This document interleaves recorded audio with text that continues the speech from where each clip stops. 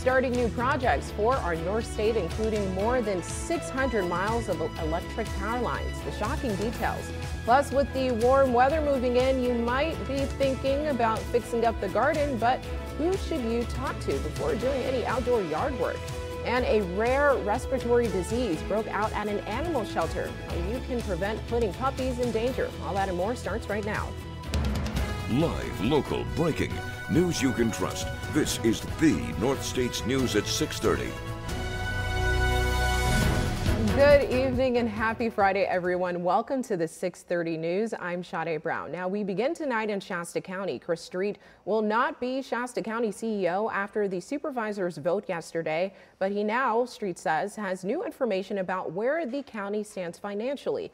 Mason Carroll reports. This county is in deep financial trouble, um, so I dug deeper. Since learning he was not going to be Shasta County CEO, Chris Street now wants to share with the public Shasta County does not meet its minimum target for this year's general fund budget. The reserves for Shasta County are 8.9%.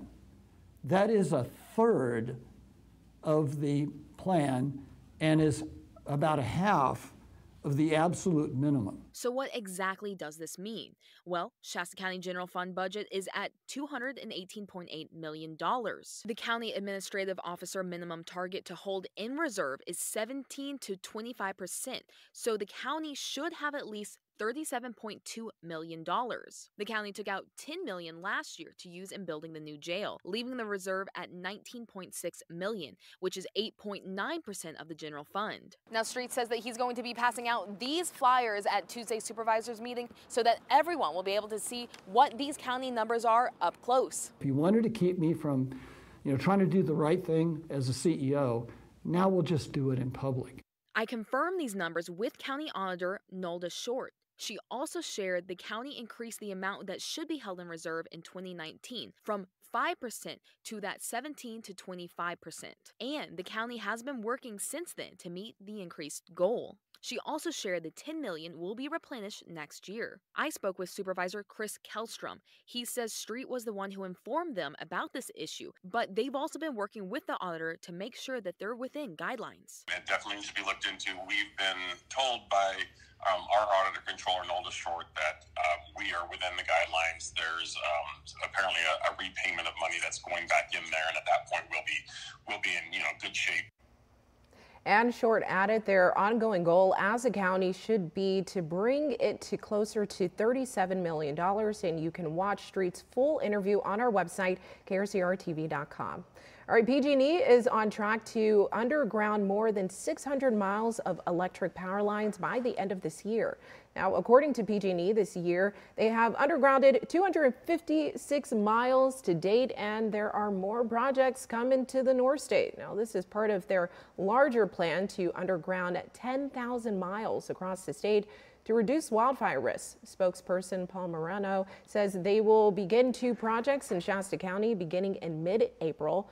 One is in the Happy Valley area, which will underground 32 miles. The other in Cottonwood along Gas Point Road will underground 37 miles. Moreno says their goal is to reduce wildfire risk and make their equipment more reliable. You have eliminated by more than 99% the chance of an electric fire caused by power lines when the power lines are underground. But there are also many other benefits for customers as well. It's more beautiful not having overhead power lines, and uh, it also means protection from cars hitting utility poles and causing outages. Moreno says most of their focus this year and next area are in Shasta, Plumas, and Butte County, but they have projects across the North State. Now, as the weather is set to warm up a bit this month, you might be getting ready for some outdoor gardening projects. PG&E is reminding residents to do so safely. Now, they say April is National Safe Digging Month. I've never heard of that, but cool. That means if you're planting a tree, doing some basic gardening, or replacing a fence, PG&E is asking you to call them first before digging. Now, this is so you can avoid damaging underground utility lines. Ground is drying out a little bit, and we're getting out there and doing those home repair projects, and that's the time you need to call 811 so that they can come out here PG&E says it can be a costly mistake because repairing an underground utility line could cost upward of $3,500. They also asked residents to call 811 at least two days before planning on doing any outdoor yard work.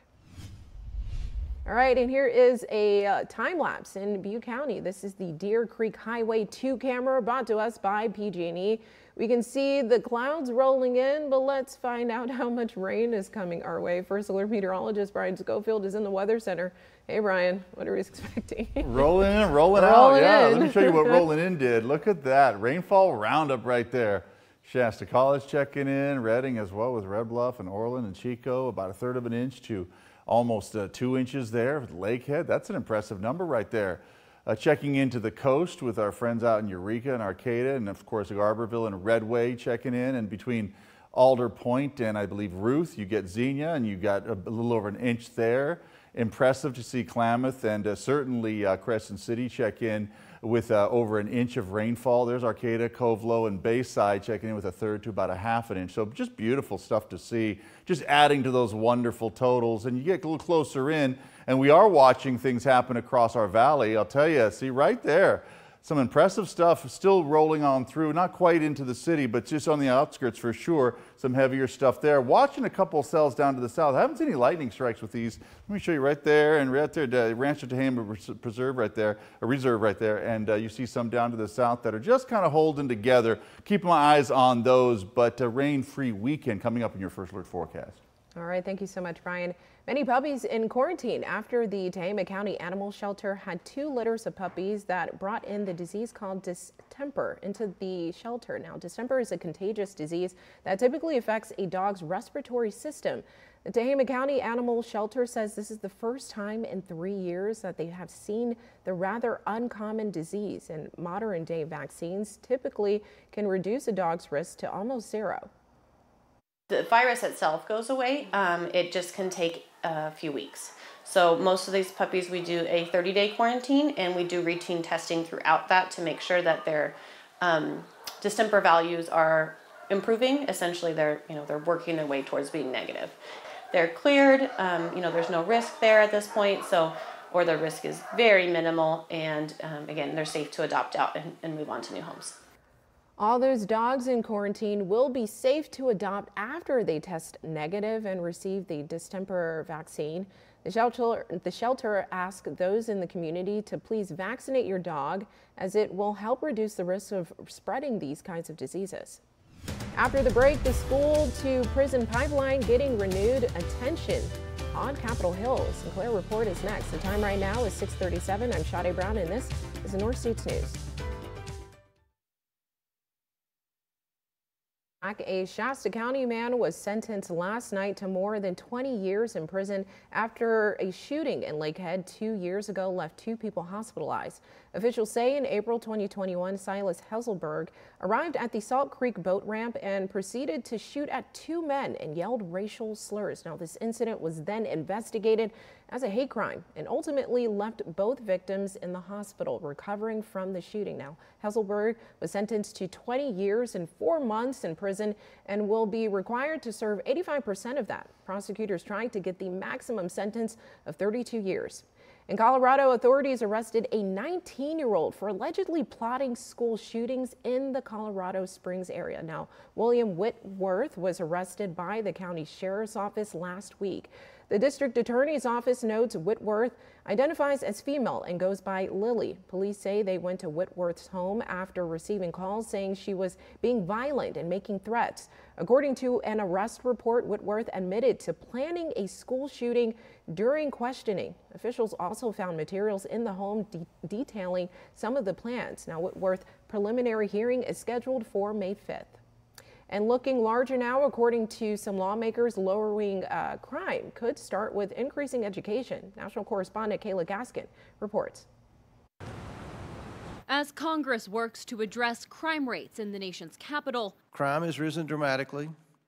Education levels have plummeted. Republican Congressman Gary Palmer taking some heat for this exchange with D.C. Council Chairman Phil Mendelson. Your schools not only dropout factories, they're inmate factories. No, I'm not saying all Well, of them thank are you. excellent, but I would not say that they are uh, factories for crime. Mendelson calling Palmer's statements racist and offensive in his own statement to NBC News. In 2022, DC schools saw some of the biggest drops in math scores in the country, according to the nation's report card. I certainly wouldn't have put it the way that the congressman put it.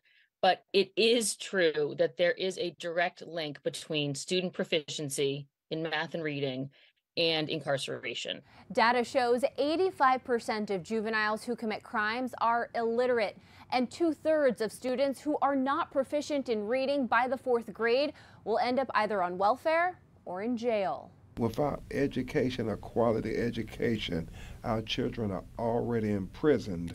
They just haven't slammed the jail cell door yet. Prominent civil rights attorney Ben Crump taking up the issue by joining a lawsuit against Baltimore City Public Schools. High school graduation rates in the city hitting a nine year low. Our kids are falling further behind. And they've been falling further behind for years. In Illinois, not a single student can do math at grade level in 53 schools.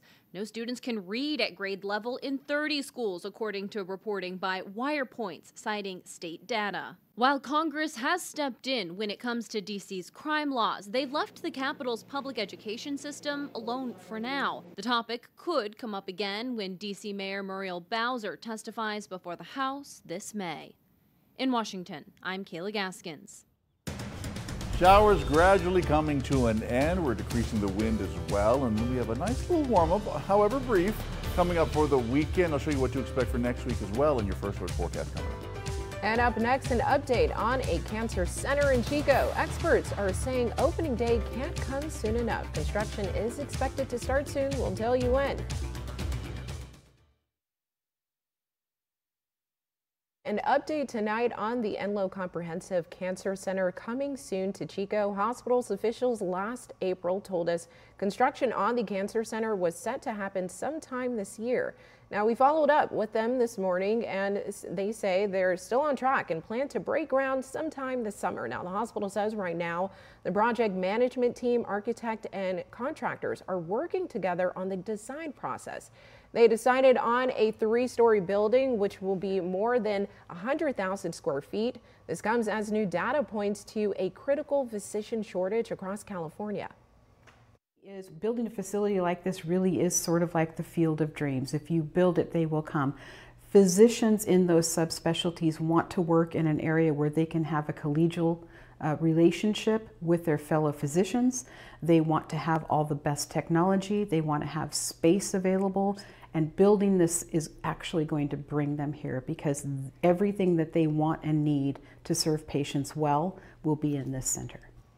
She says that Enloe is in serious need for more space right now, noting that doctors are trying to see about 90 infusion patients a day in a space that will that was built for only about two dozen patients. In the last year and a half, they've uh, raised $12 million for the project.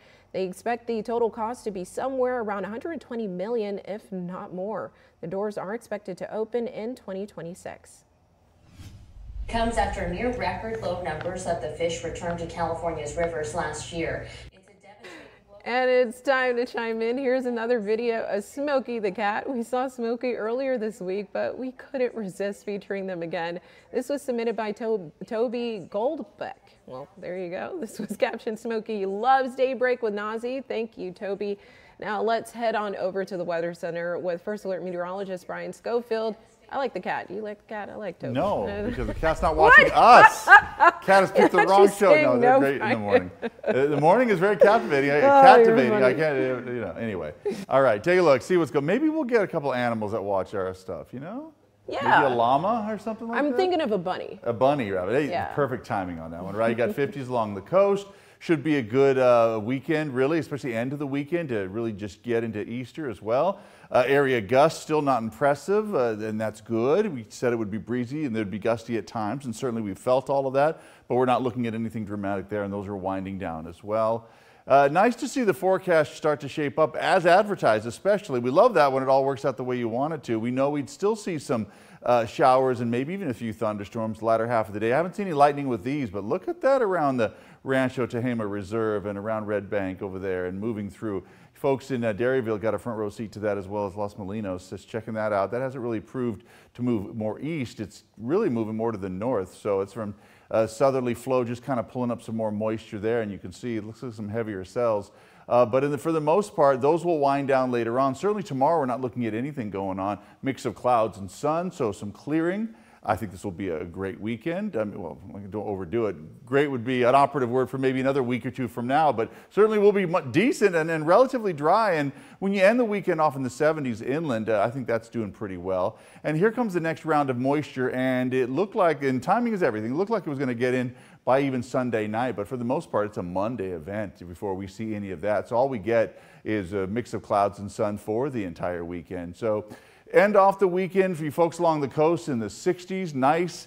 We'll bring in some rain on Monday and uh, maybe a little uh, hit or miss shower on Tuesday into Wednesday before we dry things up there. After high pressure moves out and the temperatures fall accordingly. But high pressure moves westward, and that's what's raising those numbers up into the lower 70s inland. That's what you can expect. Uh, dropping the temperatures down once again early next week. Even inland areas will likely see a little shower or two on Monday. Once again, it looks more impressive on that uh, graphic, which kind of just showed in the precision cast. But I don't think we'll see it look, uh, you know, be as impressive as some of the stuff we've already seen come through, getting a half an inch to even over an inch in many areas. 40s for tonight. Hayfork in the 40s, 30s for Weaverville. I see Easter sticking around with the 70s for the end of the weekend in Redding as well. And you know, just nice temperatures next week, even in the 60s. That's pretty nice. It's a little bit below normal this time of year, the lower 60s, but upper 60s are right on track with what we should be seeing. Got those uh, lower 70s to middle 70s popping up for Chico. A great forecast for the weekend there too, especially when we start to see a little more sunshine. Just kind of move on in. That's great to see. Overnight lows dropping down back into the 40s again after getting to about 50 degrees because of the warm temperatures over the weekend. More sunshine on the way toward the end of the week, so plan on scouring out some of those clouds by Thursday and Friday. Here is your weather window. Weather Window, presented by the National Weather Desk. As the saying goes, from drought to deluge. This was the first time in a long time that we're able to see scenes like this from Austin, Texas, an all day soaking beneficial rain. Austin Bergstrom Airport set a record on Thursday of 1.88 inches. It's been since August that the area has seen a rainy day such as this, but it'll take many more to totally get out of their severe drought. For more content like this, follow the National Weather Desk on Twitter. Stay with us if you still don't have Easter plans. We have a few options for you after the break. A lot of fun events happening this Easter weekend, and we're here to tell you just about a few. In Chico, a local restaurant will get a visit from the Easter Bunny Sunday, available to take pictures with the children and live bunnies. Hello. So if you're looking to take your kids out, hop on down there. They'll be going on from on Sunday from 9 a.m. to 2 p.m. at Cozy Diner on Mangrove Avenue in Chico.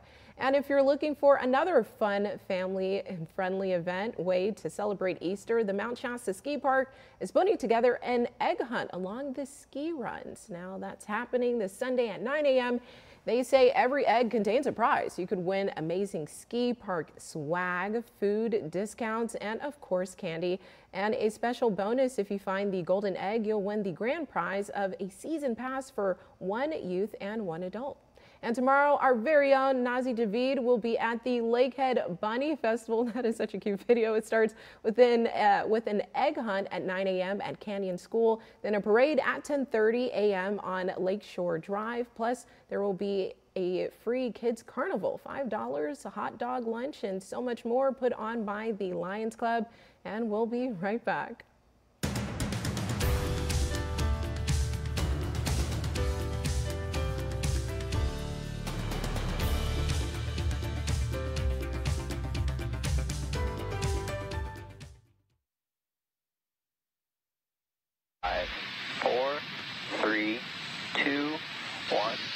Ignition, engines full power, and liftoff. Look at that. NASA and SpaceX launched a rocket early this morning from the space station, well, Space Force Station in Florida. Now, it's equipped with a NASA instrument called TEMPO. The device is the first space-based device to monitor, monitor major air pollutants from above. It can monitor conditions from the Atlantic to the Pacific Oceans. Now, this is SpaceX's 23rd year uh, launch this year. Wow. That's pretty cool. A lot of interesting stuff going on. Right? I know, a lot happening. Right? It is over Yeah. my head, actually. Most It of is it actually, over yeah. our head, head legitimately too, over right. our heads. Yes, off in space. Got 60s checking in for tomorrow. Enjoy those. We have 70s around the corner for your Easter. All right, thank you so much, and thank you for watching and welcoming us into your home. Have a good night.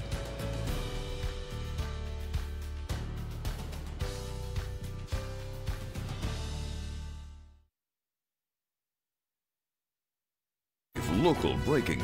News you can trust. This is the North States News 7 at 7. Good evening and welcome to the 7 at 7. I'm Sade Brown. We begin tonight in Shasta County. Chris Street will not be Shasta County CEO after the supervisors vote yesterday, but he now says Streets he has new information about where the county stands financially. And that's where we start our top seven stories of the night.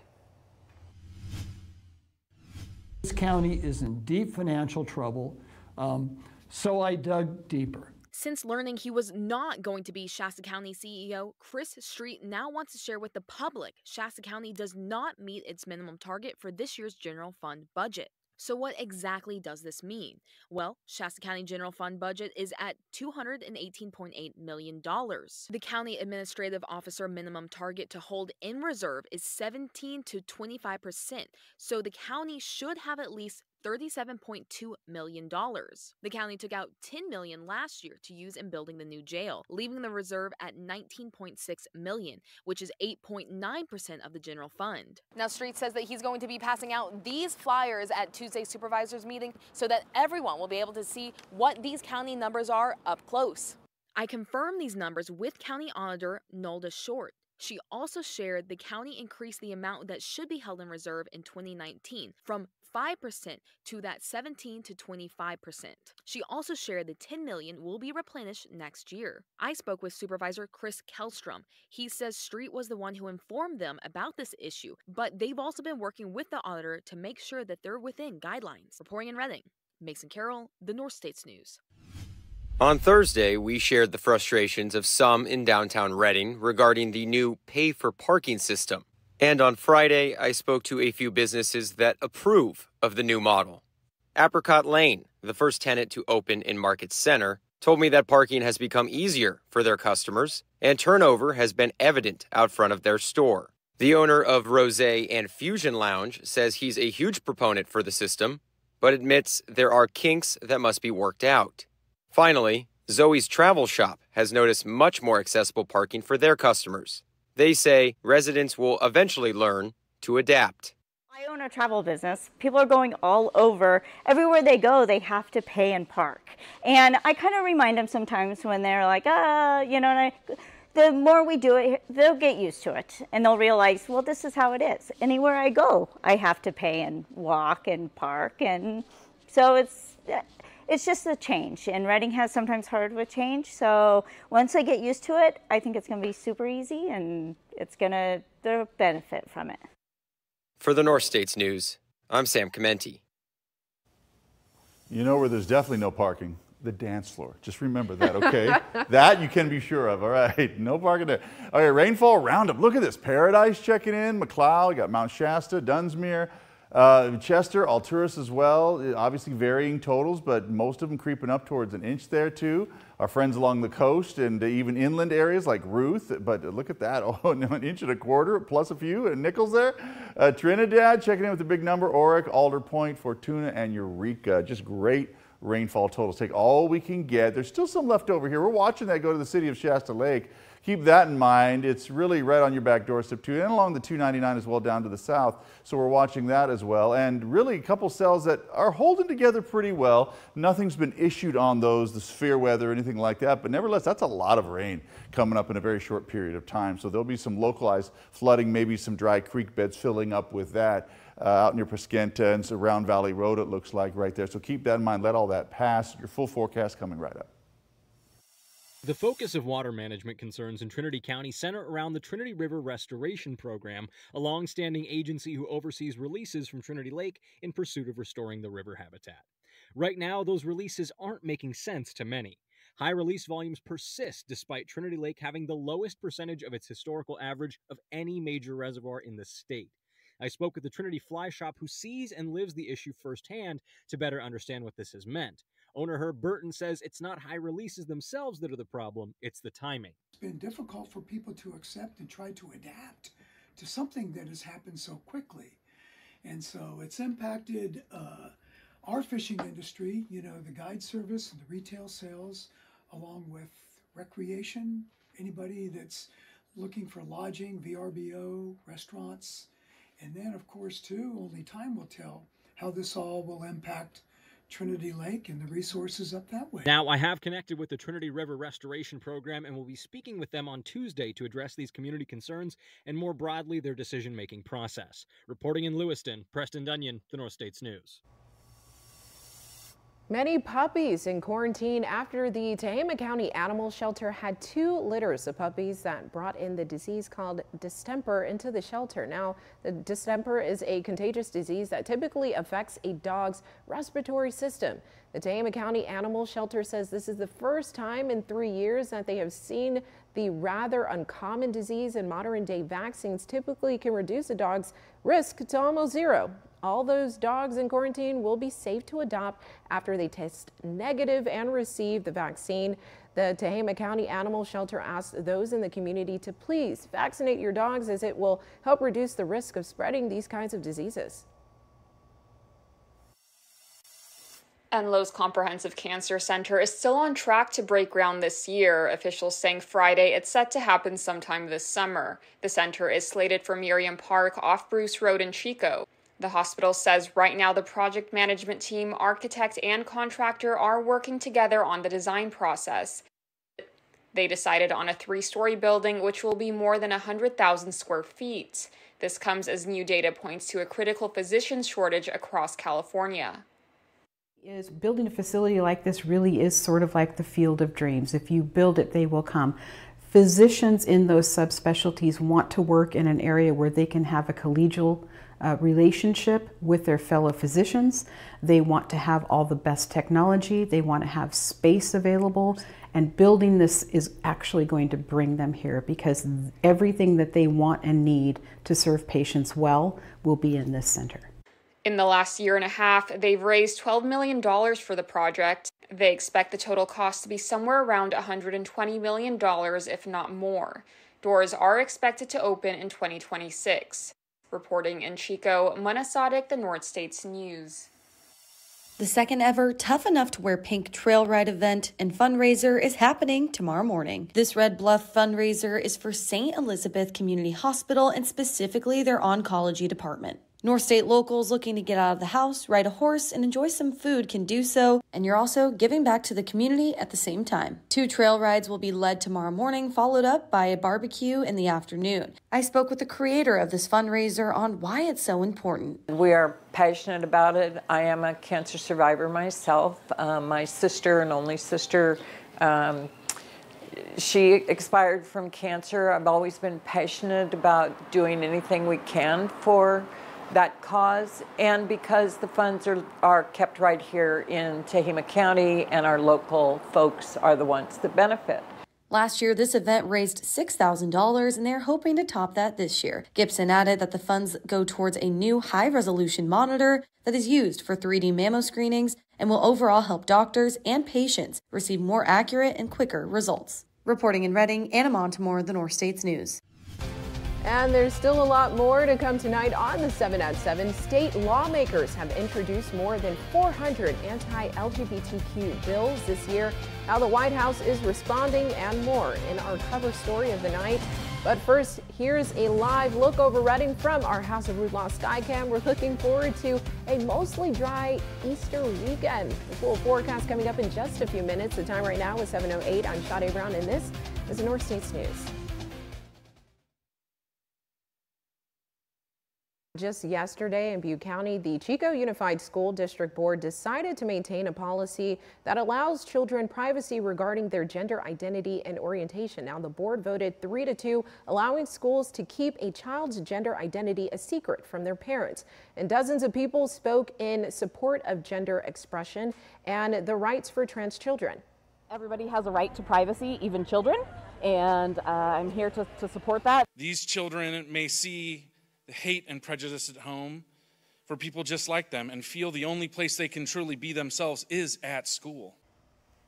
And looking larger now, a new analysis from the ACLU shows state lawmakers have introduced more than 450 anti-LGBTQ bills this year. Many target transgender youth and more than a dozen saw legislative action this week. Now, the White House and Supreme Court are weighing in as Amy Kelly reports in our cover story of the night. This has been one of the worst weeks for of 2023 so far in terms of anti-LGBTQ bills. The White House, several states, and the Supreme Court are taking action on transgender rights and restrictions. The Biden administration is proposing a new federal rule involving transgender athletes. It wouldn't stop schools from limiting their participation on teams that correlate with their gender identities, but it would make total bans a violation of Title IX. I want to say directly to LGBTQI plus kids, you are loved just as you are. A new law in Kansas is set to prevent transgender girls from playing on gender correlating teams. That's after the legislature overrode a veto yesterday. In North Dakota, the state passed 10 anti LGBTQ bills just on Wednesday. And in North Carolina, six bills introduced this week take aim at sports participation and gender affirming treatment for minors. There's this whole false narrative that trans kids just walk in and can start taking hormones or get surgery. We believe kids ought to be given a chance to resolve their uh, confusion about their sex. In light of such legislation, some young people are speaking out, like during this recent rally in Washington. They cannot outlaw the transness and queerness out of us. I'm Amy Kiley reporting. All right, take a look at our 12-hour precision catch. See, even through this evening, later this evening, we'll still see centrally located uh, showers, maybe even a few thunderbooms. We're not out of the woods yet on that, but this weekend, much improved. Taking a look at that in your first word forecast just ahead. Well, it looks like the Easter Bunny won't have to bring an umbrella this weekend. Ah. Meteorologist Brian Schofield is standing by with the latest. Hey, Brian. I didn't know the bunny had one. I mean, very prepared, right? Like the Energizer Bunny, just always prepared, always moving along. Take a look. Yeah, these clouds are going to start to wind down as well. Temperatures right now, uh, upper 50s. How about how do upper 60s to lower 70s, even some middle 70s sound? That's exactly what we're going to see for the end of the weekend. Still have some showers in the picture right now and a little heavy batch there sliding on into the picture. We're not done with this yet as we're watching these uh, little cells hold together. Once again, we're not seeing lightning strikes with it. We have no advisories with that, but I suspect they are producing some localized flooding right there. So we'll keep our eyes on that. And a lot of that is some uh, maybe lowland areas and stuff, maybe not as populated, but nevertheless, that can run off and uh, be a mess out on the roads, especially some of those back roads as well. So that's holding together pretty well. But later on, especially through tomorrow afternoon, we're not seeing much happening. We're going to keep those in through later on, but that's later on tonight. Later on the weekend, look at Sunday clearing out pretty well. Then we start to bring the clouds back in again after seeing the mix of clouds and sun for the weekend. And then here's what's brewing, and it looked like timing was not going to be in our favor. That has since changed. We're all happy about that. And that is the way the weather works. It doesn't take much to really make it a change quite a bit. And with that timing brings in all of this moisture in for Monday, not for Sunday. And high pressure sticks around, and the timing of that, it doesn't really even leave until Monday. So I guess we have a better chance at getting some nice weather this weekend than the opposite of that. So nice to see. There's your brief warming. High pressure slides west instead of east immediately for the weekend. But yes, it will have to move out of the way eventually, and then that'll be for next week. And you can see the temperatures fall from there. That's high pressure leaving the area. But as it pokes on into the west, oh yeah, good stuff there, right there. Easter weekend, we love to be able to brag about it if we can. Hiding those eggs. Everyone hide eggs still? You do? Are you coloring eggs for the weekend? Oh, okay. My mom and dad always hated jelly beans, not individual, like in the package. yeah. Uh, you, oh, you don't know what jelly beans? Come on now. We'll talk about that at the end of the year. I thought that was much better than the rotten eggs, I'm telling you that. I like eggs today, but I like jelly beans better, I think. Anyway, 40s overnight. Plan on those. 30s across. I'm talking to Sade, not my own brain. Don't worry. Got upper 60s to middle 70s for the weekend. Really upper 60s for uh, early next week as things start to change up for us. You see as high pressure moves out, temperatures do drop by midweek, but we also add in a little more unsettled weather next week, but not impressive. Just nevertheless, we'll take all the moisture we can get, and we'll probably see a couple days of 70s truly uh, now that the, we know the high pressure is building holding in for the at least the end of the weekend into early next week. As it pushes out, yes, the numbers do come down a little bit, but sunshine still gets in the picture by the end of next week. So it's a short-lived warm up into the 70s, but it's not out of the realm of possibilities for the next oh, 10 days or so that on the very end of that that we see the upper 60s, lower 70s pop in again. Overnight lows, not dramatically cold either, staying out of the 30s into the 40s and into the 50s overnight. Enjoy your Easter jelly beans? No? Really? really? No. I don't know, Brian. I mean, they are substituting the eggs for potatoes in our oh, last Oh, there show, it so, is, yes. you know, egg prices are high. All right, let's look locally now. Head on over to KRCRTV.com and check out in case you missed it. Up first, in Butte County, a man wanted for several crimes was arrested after he led police on a brief chase from Paradise to Chico. Now, this happened on Wednesday near Skyway and Jewel Road in Paradise. Police say Christopher Avey, who is known to them for previous car theft and multiple storage unit burglaries, was sitting in a stolen car out of Chico nearly six months ago. When Avey, when Avey saw the officers, he took off driving erratically until he made it to an apartment in Chico. Chico police found him nearby and arrested him, and he was booked on several charges from a stolen car, possession of a gun, and drugs. Also in Butte County, a new cannabis dispensary is opening its doors in Chico. It's called Embark. They welcomed their first group of customers yesterday afternoon during a ribbon cutting ceremony. They're holding a soft opening through the 19th with a grand opening on 420 or April 20th.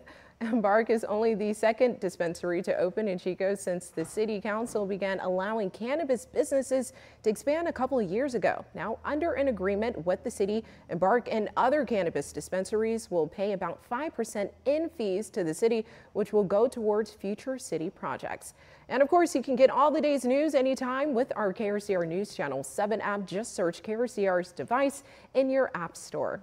All right, there's still a lot more to come tonight on the 7 at 7. Two black Tennessee lawmakers were expelled when they protest in support of gun control. What social media is saying about the situation next.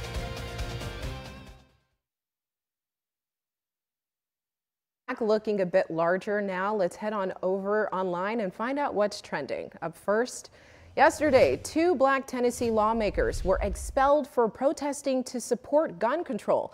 Now, this comes after the deadly school shooting at a Christian school in Nashville. However, there were three lawmaker uh, protesting. The third involved person is white, and the state house voted not to expel her. Now, today, Vice President Kamala Harris met with all Democratic state lawmakers there, including the three who face expulsion. And now the majority of the Nashville Council members are saying they will be voting to reinstate at least one of the lawmakers. The meeting to do so will take place next Monday.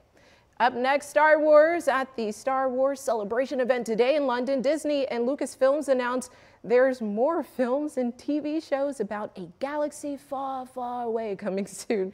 The creators announced three films are on the way and a new series coming to Disney Plus in August. Fans are especially excited about the first film hitting theaters. The film will be following the events of Rise of Skywalker and will focus on Rey as she builds a new Jedi Order. And lastly, happy Easter weekend, everyone. Today is Good Friday, celebrated by Christians around the world, traditionally recognized as the day Jesus Christ was crucified.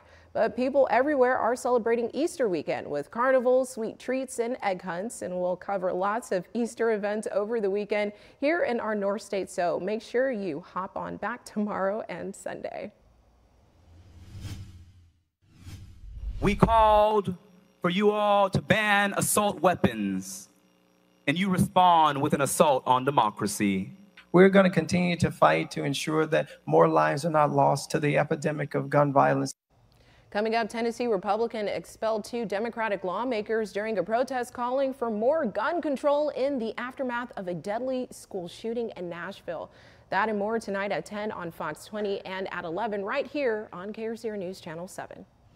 Up next, here comes Peter Cottontail hopping down the highway. State Trooper held a bunny who was lost on the side of the highway. The moment of the day is up next.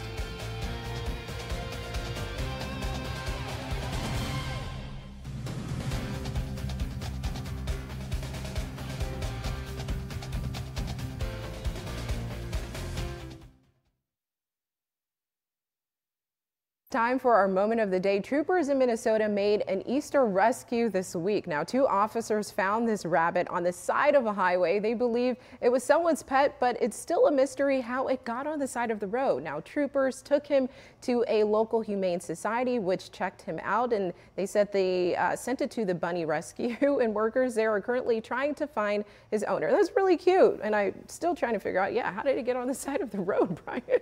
there's got, there's so many more. There has. He just one. hopped on in. Yeah. Yeah. yeah. There it is. There you go. You got me on that one. All right. Uh, I tell you, you got 60s on the way. Plan on it. Plan on really a nicer weekend ahead as we end the weekend off in the 70s. Can't beat that. You can't beat no, that. All right. Thank you so much, and thank you for watching. Uh, Jimmy Kimmel is up next, I believe.